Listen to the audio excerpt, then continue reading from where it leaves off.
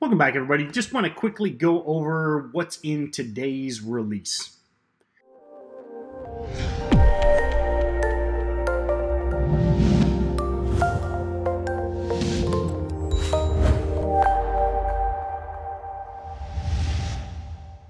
So today is August 3rd, 2017. We just had a release come out, so if you haven't launched your stocks to trade today, I recommend firing it up, getting the update, checking it out. Most of, you know, I have the link below with the full change log, mostly um, enhancements and bug fixes. I do just want to go over one kind of cool little feature that I would love to see you guys use. We now have, if you go up in your upper right of any chart window or total view window, basically any time you're in the chart widget, you will see kind of the universal little social button here, kind of this little two line with three dots kind of triangle thing. And then if you hover over it, it says share.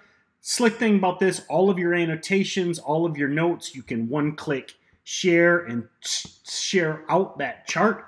It automatically adds the ticker ID. So I can do, and then I can add my notes to the tweet. IPI was a stock we went over in Stocks to Trade Pro yesterday. It's working killer today, but nice all day hold, then post 2 p.m. perk on IPI yesterday.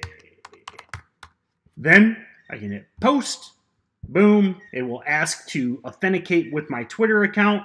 I'll do that off screen. But the nice thing is, once you do that authentication with your Twitter account, you can push those charts out to your Twitter. Or the other option is you can actually, if I cancel this, I can go to the share and I can just export and it will share that chart to my desktop. So maybe for your reference, I use Evernote a lot. You know, I could share IPI chart, nice VWAP break, etc. I can save that to say my desktop, uh, and then drop that into Evernote for uh, reference down the road, or I could just drop it in a folder too. You know, obviously Mac or PC. So um, make sure you get the update, guys. I appreciate you using the software and take advantage of the social features. We're, we've got more coming, but um, would love to see your charts on Twitter. So thanks a lot.